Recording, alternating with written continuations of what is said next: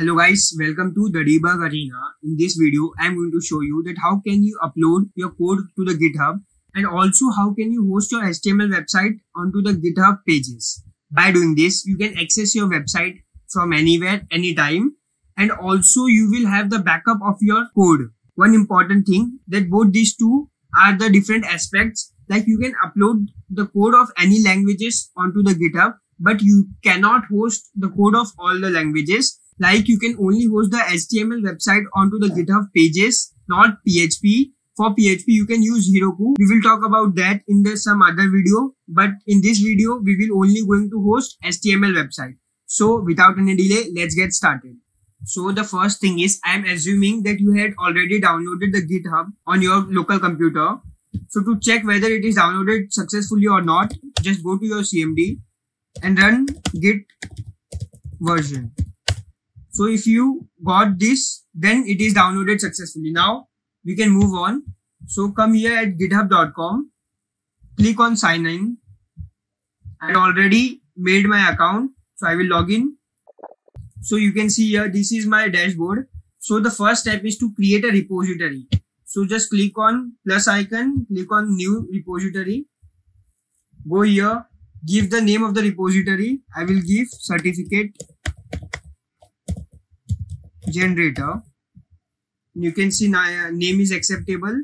Keep this public and just click on create repository. So the first step is done and this is my website which i am going to host and upload the code. So first go to your project directory. This is my project directory. Come here open cmd so the first step or the first command is you can see here these are the command you have to run. First command is git init it will initialize the git repository in your folder. So you can see here that now .git has been generated. Previously it was not there. Now the second second command is git add dot. It will add all your files to GitHub and now you have to commit. You can just give it any name. I will just give first commit. Okay. Now it has checked all your files and made uh, it in the GitHub. Now what you have to do, now you have to come here and change the branch. So you can see here, this command is git branch m main. Like you will mostly notice two type of branch, main and master. They are nothing but the version. Like you can upload your first version of the code onto the main and the sec second version of your code onto the master. So I will choose main. So just set it to main.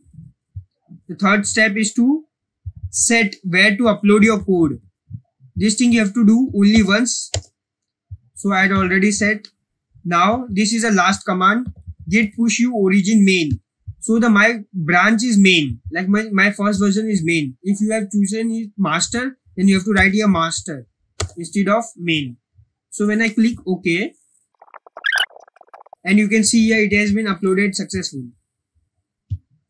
So now I will come here, refresh this so now you can see here that all my code has been uploaded successfully. In this way, you can upload any code and whenever you make changes in your project directory, just run all this command except this one, git remote because it sets the path and we have to set it only once. Now we have to host this website. So for that, you have to go to settings. In that you have, you can come to pages. Here in branch just choose your branch. Mine is main. Click on save. And once it is done it will take around 2 to 3 minutes to generate the link. So we can just wait for that. Now you can see here that after 2 to 3 minutes our page is generated. It is saying your site is live at this. So if we have to visit our website then just click on this link. I will open this link. And you can see here this is my form which is on my XAMPP folder and this is my form which is on my GitHub. So in this way, you can easily host your HTML website on GitHub. Okay. Only remember to host the HTML website, not the PHP one. For PHP, you can host it in Heroku. That's it for this video. And if you found this video helpful, then please like, share and subscribe. Thank you.